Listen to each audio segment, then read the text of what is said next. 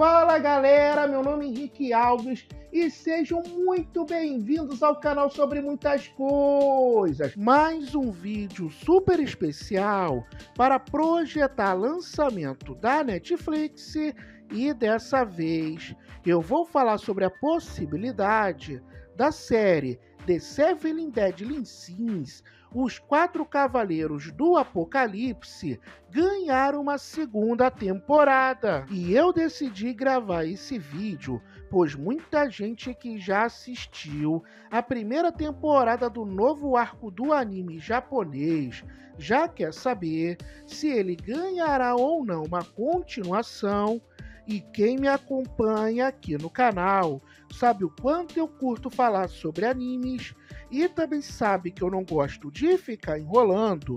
E é por causa disso que eu já começo esse vídeo trazendo uma ótima notícia para quem já assistiu e curtiu o anime, pois ele terá sim uma continuação, e eu digo isso pelo fato da primeira temporada do anime não ter apenas 11 episódios, inclusive lá no Japão já foram exibidos 15 episódios, e até por isso eu acredito que essa continuação do anime esteja chegando aqui no Brasil entre março e setembro desse ano. E você já assistiu os primeiros episódios de The Seven Deadly Sins, Os Quatro Cavaleiros do Apocalipse, gostou do que viu e não vê hora de assistir os novos episódios do anime?